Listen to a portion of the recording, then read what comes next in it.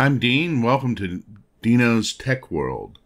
Today I'm going to show you how to install PHP on uh, IIS in Windows 11.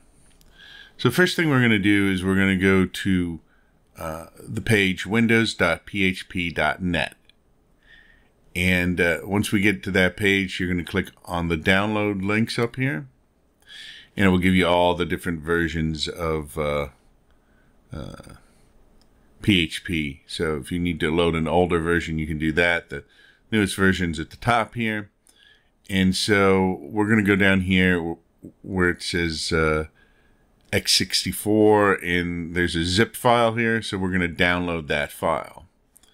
I've already downloaded it. Put it here to speed things up. But you'll find the download file right here. It will be a zip file. And you're going to right click on it and you're going to go extract all. That's going to give you this destination uh, folder here by default. But we're going to change this destination to C uh, colon backslash PHP. And we're going to just go extract. And that's going to create a folder called uh, um, PHP on your C drive, and it puts all of these um, files under that folder. Now, what we need to do is we need to set the environment variable. So we're going to go down to the uh, corner of Windows here, and we're going to type, um, start to type environment, and it should bring up edit system environment variables. We're going to click on that.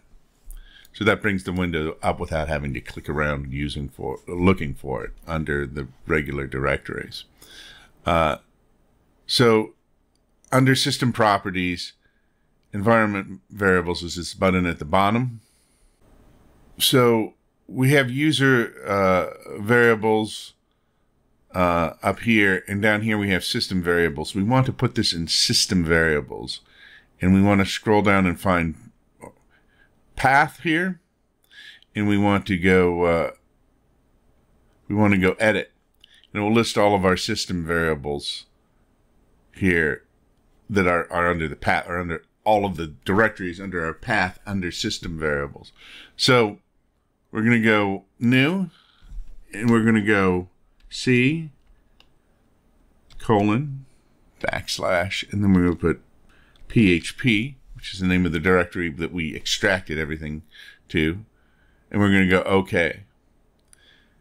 And I'm going to go back to edit again just to double make sure that this is down here. And once we've added that to the end of the path, close that out again and uh, hit OK here and OK here.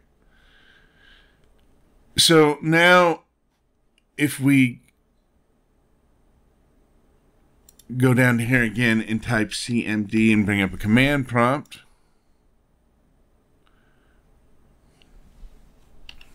We should be able to type PHP dash dash version and it will come up and will tell us the version of PHP. That's how we know we did this step correctly because because we've copied the files to a directory and we've set the path so now that Windows knows where PHP is. The next step is going to be to set up um, IIS uh, to, to uh, recognize PHP now that we've got it installed. So we're going to go down here to search and we're going to start to type IIS and you'll see it comes up with uh, Internet Information Services uh, Manager and we want to open that up. Now you want to look for this CGI icon, and there's another CGI icon here, and a fast CGI uh, settings here. Make sure those are here, because if those aren't here, uh, we can't do this step. And if they don't show up, all you do is you start to type on turn windows and find turn windows features on or off and click that and this is where you, if IIS isn't installed, you, you click it here to install it. But if it's already installed and you don't have the CGI um, icons, You're going to go down here to World Wide Web Servers and Application Development and make sure CGI is clicked on here, and that will load those um, uh, modules or whatever, so that we can uh, so that we can set up PHP because we need CGI to set up PHP. All right, so we're going to want to go to handler mappings and double click on this. And we want to add a module mapping. And so up here where it says request path, we're going to type star.php.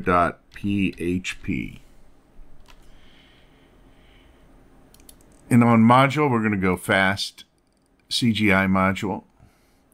And on the executable, we're going to go to here.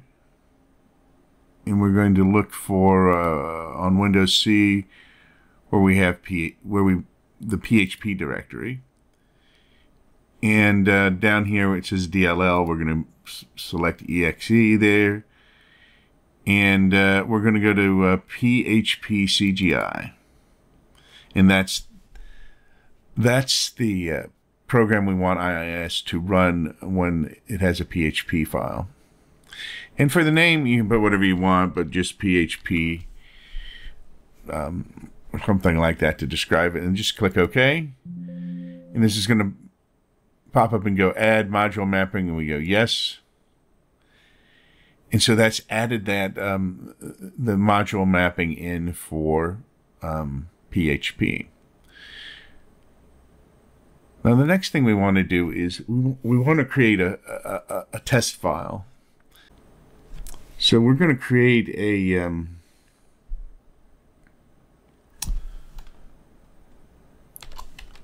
a test file, and it's going to be uh, PHP,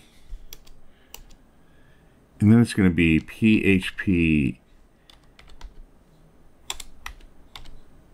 info, some parentheses there, semicolon at the end, and then we're going to write this, and we're gonna we're gonna write it to a file. We're gonna just save it here, but make sure you save it as um,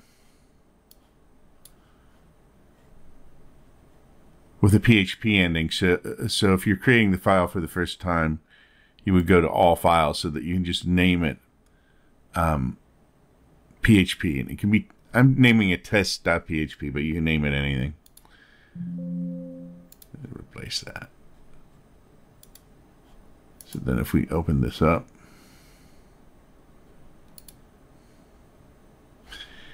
so that's what you want inside of this uh, this file. The next thing you're going to do is you're going to copy this file.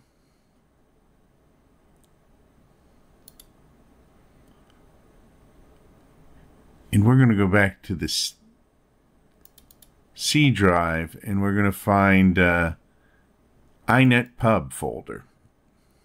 And we're going to go to www root and we're going to right click here and we're going to paste access denied. And we're going to go continue. And so it's going to um, it's going to paste it there.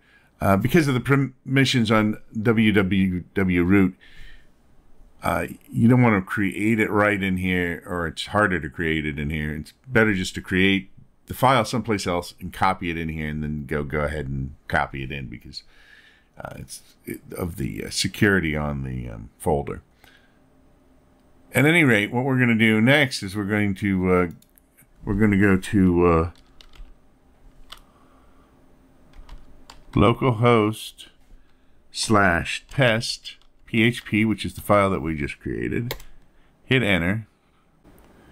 If you see this, it means you successfully installed PHP on uh, Windows 11 and on IIS. Don't forget to subscribe, share, and like.